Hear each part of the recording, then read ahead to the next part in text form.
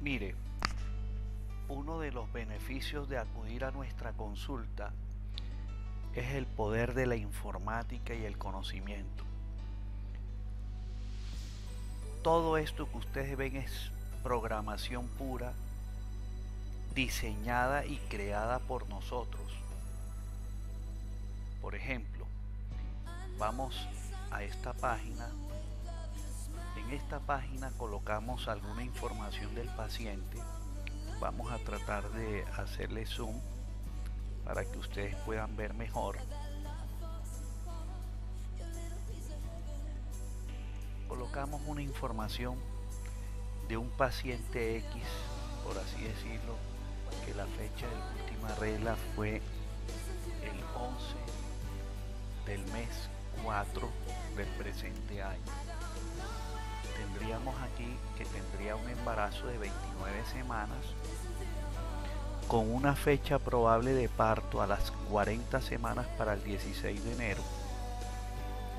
Si queremos alguna otra información o el paciente la solicita, hacemos un clic en este cuadro y automáticamente el equipo me arroja una serie de información, la fecha de la ovulación, el periodo fértil, la semana, cuando se podría realizar la cesárea. Voy a hacerle una ampliación acá para que ustedes puedan ver alguna muestra de esa información. Obviamente que al ampliar aquí una de estas fórmulas no van a arrojar ningún dato. Venimos hacia acá. Podemos ver que la semana 37 es en esta fecha y así sucesivamente la ovulación promedio y el periodo fértil y todas esas cosas. Si hacemos un clic acá automáticamente nos trae a esta página donde colocamos el nombre de la paciente la edad la fecha de nacimiento el número de embarazos y así sucesivamente si nosotros queremos por ejemplo miren acá si yo le clico acá acá tenemos una serie de fórmulas que también nos arrojan cierta información. Además acá también, miren en esta gráfica, aquí podemos nosotros calcular cuándo tendría, por ejemplo, la semana 33 para esta fecha, la semana 34. Esto es de suma importancia porque hay ocasiones en que vamos a administrar un medicamento, por ejemplo, a la semana 30 y aquí el equipo me lo arroja. Les recordamos que este programa no lo tiene nadie, ningún médico ni nadie, porque fue diseñado por nosotros. Para que el equipo nos arroje esto, hay una serie de fórmulas ocultas a través del programa. Regresamos acá, por ejemplo, aquí. Aquí podemos ver Aquí hay muchas fórmulas. Cada botoncito que usted observa aquí es una serie de función que nosotros le generamos al programa. Entonces miren, voy a ampliar aquí nuevamente para que ustedes puedan observar algún otro dato. Aquí tenemos que por la fecha de última regla la paciente tendría 29 semanas. Pero vamos a colocar que nosotros le acabamos de hacer una ecografía y voy a ampliar un poquito más y nosotros encontramos que en vez de 29 semanas la paciente tiene 27 semanas con 3 días de embarazo perdón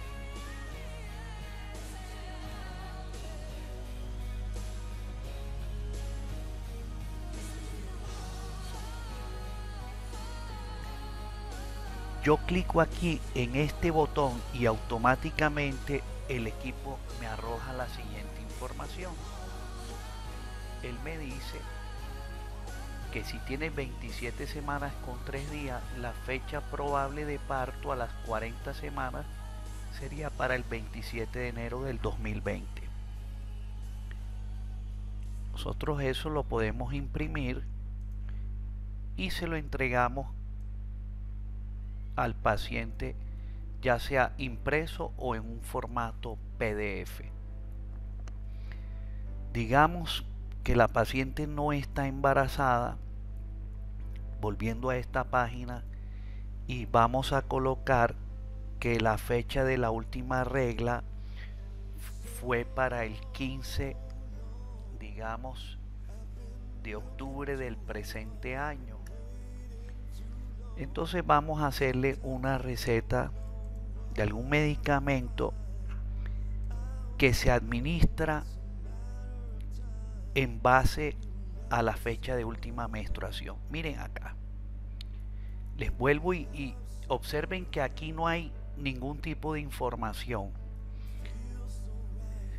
Venimos acá y estas son fórmulas que están dadas por la fecha de última regla que nos da el paciente. Cliqueamos acá y automáticamente el equipo me arrojó este medicamento que yo quiero entregarle al paciente y con las respectivas fechas en qué días debe tomarlo el paciente.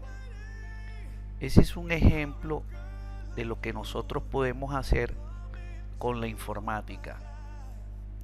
Borramos, eh, vamos a hacerle otra receta, cliqueamos acá y lo pegamos aquí, por así decirlo.